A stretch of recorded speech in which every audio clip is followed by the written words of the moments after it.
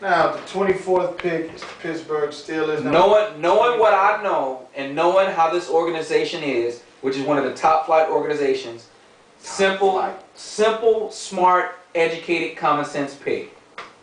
There it is. What is it? Let's see. Top flight. O lineman Cordy Glenn, I'm guessing. With the 24th pick in the 2012 NFL Draft, the Pittsburgh Steelers select David DeCastro. Guard, Stanford. This is smart pick. Steve Hutchinson, Logan Mankins, Alan Faneca, David Castro. That's all you gotta think. Just that, plug him in, play him. Here's 12 years worth of uh, talent.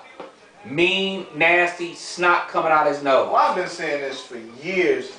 They need to start picking some linemen in the first round so Roethlisberger doesn't have to run on like a chicken with his head cut off. Bruh. I agree. Roethlisberger makes the greatest plays when he's improvising and stepping outside the pocket and making shit happen.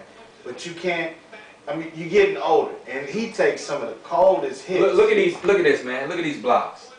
Physical, number 52. Physical. Yeah, he He he run off the line. he is what you look at when you look at a Pittsburgh Steeler. That's it. I love it. Love the pick. So next one, this is a trade. They got the 25th pick, and It was Broncos.